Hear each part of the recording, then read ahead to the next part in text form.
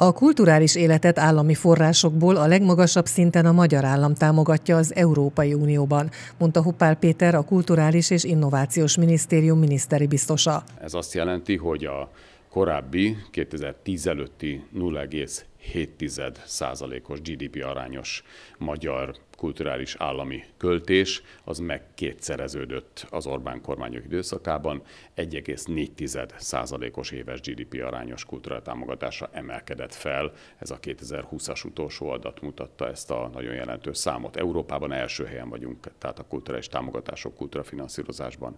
Ebbe beletartoznak a kulturális infrastruktúra fejlesztések is, így a vidéki kis és nagyvárosokban a kultúrház, színház felújítások és építések, illetve a főváros nagy beruházásai. Ilyen a Magyar Zeneháza vagy az új Néprajzi Múzeum Városligetbeli épülete is, amelyek ebbe a körbe tartoznak, tette hozzá miniszteri biztos. Áll egyfelől a kultúrafinanszírozás a, a normatív működési támogatásból, ami az önkormányzatokon keresztül érkezik. Ezt az elmúlt 6-8 évben nagyon nagy mértékben megemeltük elsősorban a kis települések szintjén.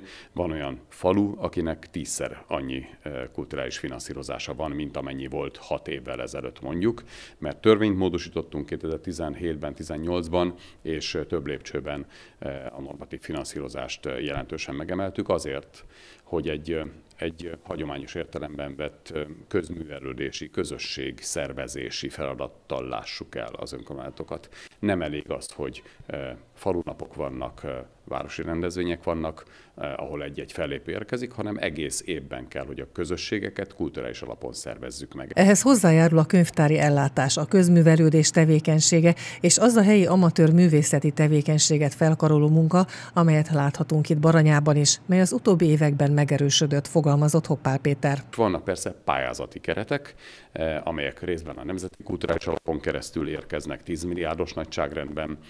Vannak az előadó művészeti támogatások, amelyek változó mértékűek. Most a kulturális kormányzat döntése értelmében az idén 6 milliárd forintra lehetett pályázni előadó művészeti pályázaton keresztül. Ez korábban volt nulla is, meg volt 18 milliárd is, mindig változó, hogy ez milyen mértékű. Örülök annak, hogy a, a nagyon nagy nemzetközi gazdasági nehézségek ellenére is a magyar polgári kormányzás kitart mellett, hogy a kultúrából nem lehet kivonulni az államnak, ben kell maradni finanszírozással, finanszírozni kell a kultúrás tevékenységet, és amennyien mérték, amilyen mértékben lehet a művészeti tevékenységet is. A művészeti tevékenység nálunk túlburjánzott. Sokan mondják, máshol nincs ennyi színházi szervezet.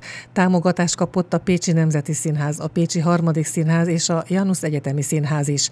Száz számra jöttek létre főleg a fővárosban a független színházi szervezetek, ezek viszont a bevételből kell, hogy eltartsák magukat, ugyanis nyugaton már ez a szokás, tette hozzá miniszteri biztos.